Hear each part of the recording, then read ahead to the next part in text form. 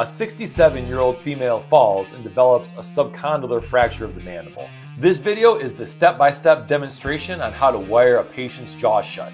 Check it out today on the Open Reduction.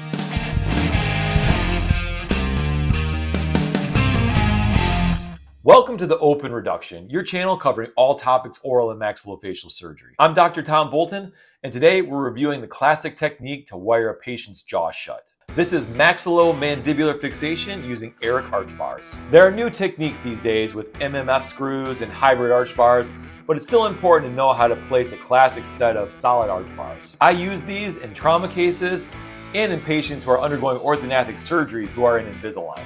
This patient is a 67 year old female who fell on the ice. Hey, it's Michigan.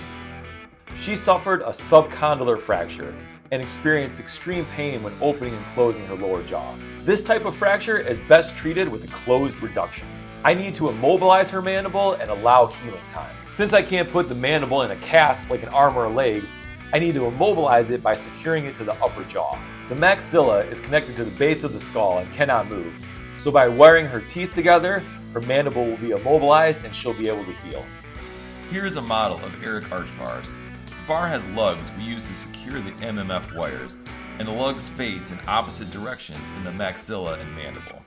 The lugs are positioned near the teeth, so they face up like this in the maxilla and they face down in the mandible.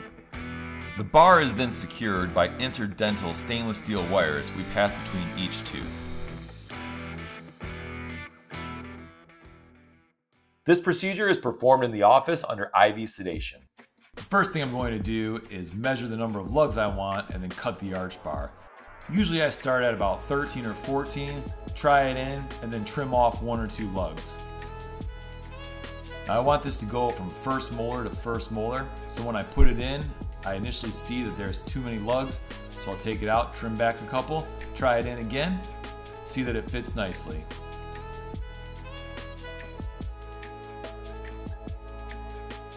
I set the arch bar to the side and then pass my first 25 gauge stainless steel wire around the right first bicuspid.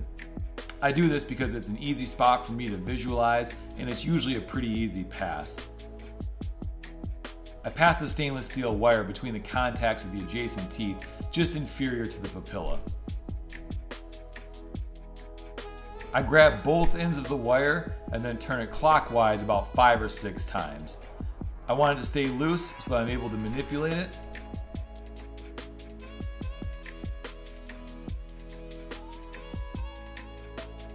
Next, I grab my second 25 gauge stainless steel wire and do the same thing, this time just around the canine.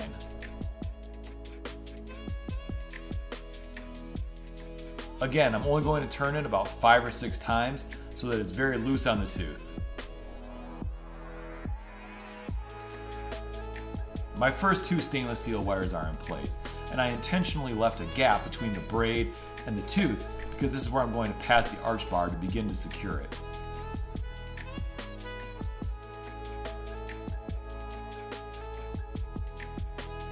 I weave the bar between the two stainless steel wires and then check its position. I want to make sure that the final lugs are lining up with the first molars on either side. This is also a good time to make sure that the lugs are oriented correctly. It's extremely frustrating to go to all the trouble of putting on an arch bar just to realize once you're all done that the lugs are upside down. I tighten the wires by turning clockwise and also pulling in an apical direction toward the tooth root. This way, I tuck the wire into the CEJ of the tooth, which is exactly where I want it.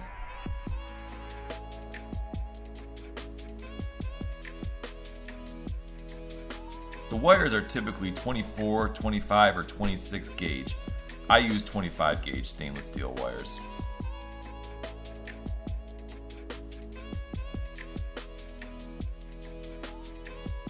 I use the periosteal elevator to tuck the wire in below the CEJ along the palatal aspect.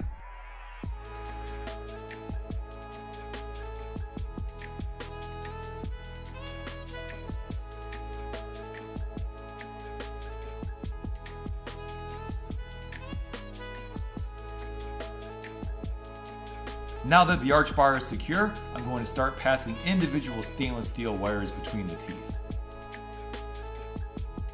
One pass has to go above the bar and one pass has to go below the bar. I then tighten each wire down.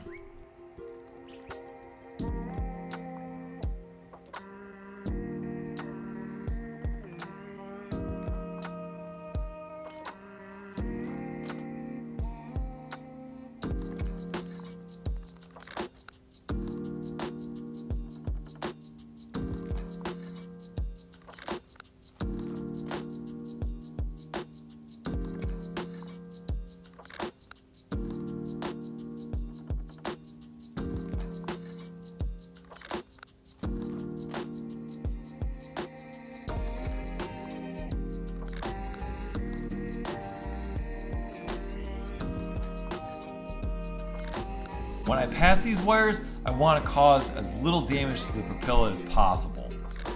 Sometimes it's unavoidable, but I do my best not to traumatize the papilla when I'm passing the wires.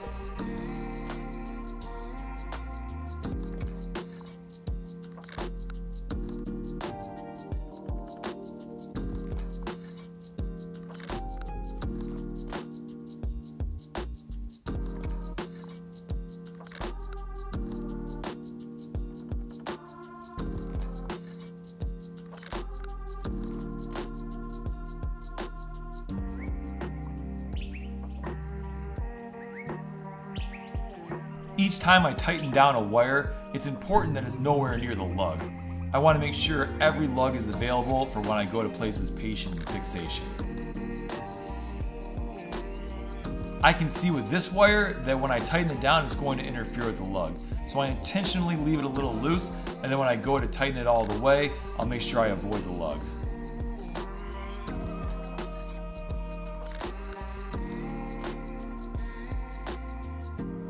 Again, applying apical pressure when tightening the wire is crucial to make sure it falls into the correct position.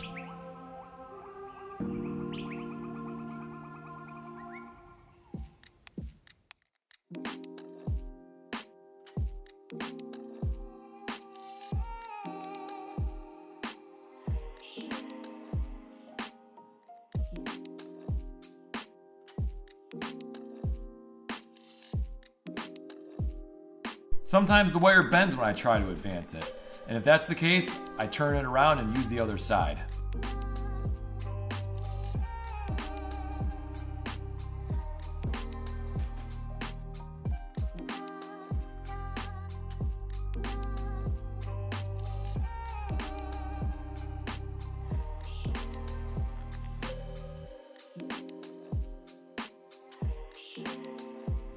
Now that I've secured the bar to each individual tooth, I'm going to trim the wires.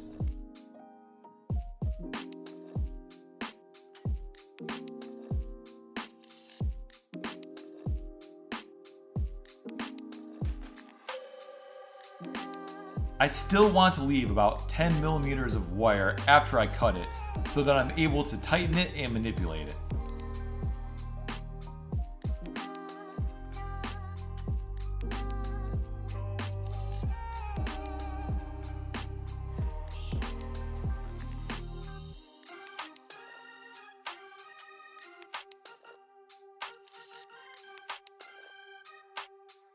Each wire needs to be tightened again after I cut it, so I twist it three or four times.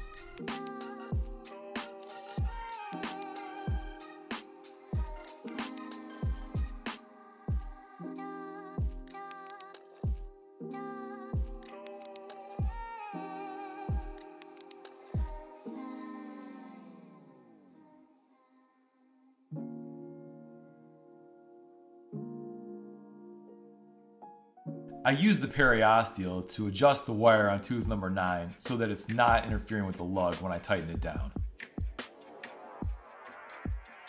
Once all the wires are tight, I use a hemostat to curl the ends and then tuck them in so that they don't irritate the lip.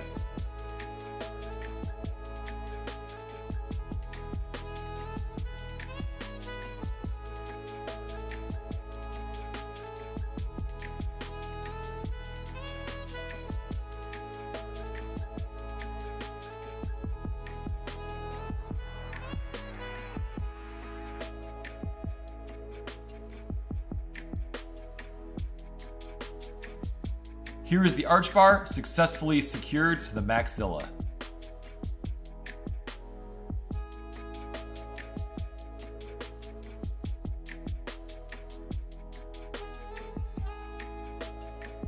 Now we're going to do the same thing in the mandible.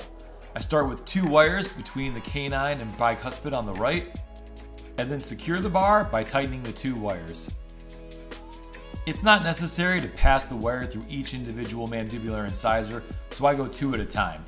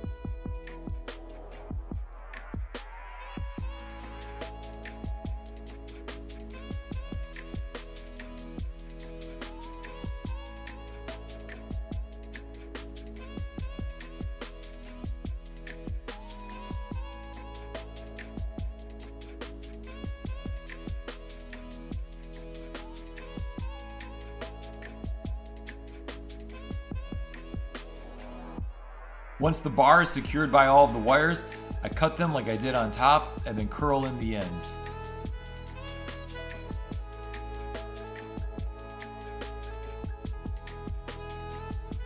Now that both bars are secured, I check the bite to make sure I can recreate the natural occlusion. Her occlusion is stable and reproducible, so now I'm going to create fishtails with the stainless steel wire to place her in IMF. I make the fishtails by folding the stainless steel wire in half and then twisting it four or five times, leaving a loop at the end. The loops engage the lugs of the top and bottom arch bars, and when I twist down the wire, her mandible is immobilized.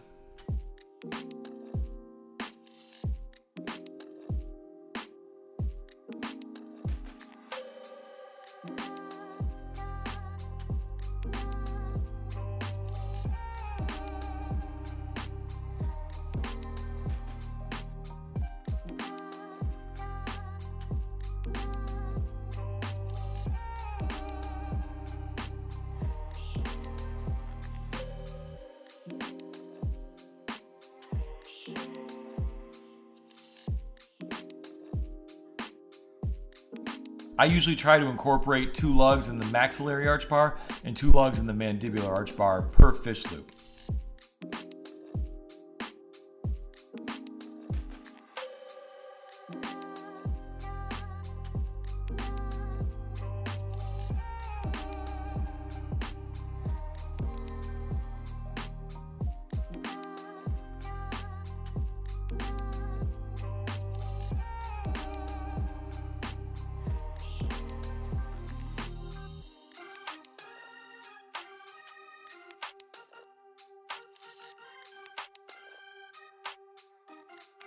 After securing the fish loops to the bar, she's in intermaxillary fixation where she'll stay during the healing process.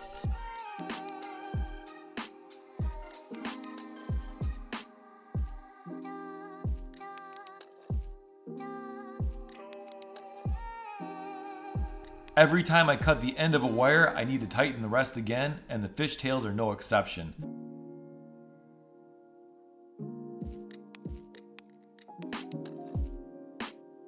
I also tuck in these tips so that they're not irritating to the lips or cheeks.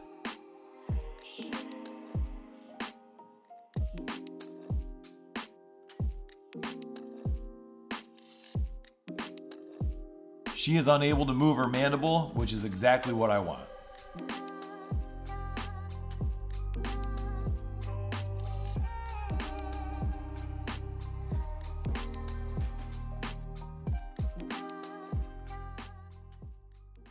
Thanks so much for watching.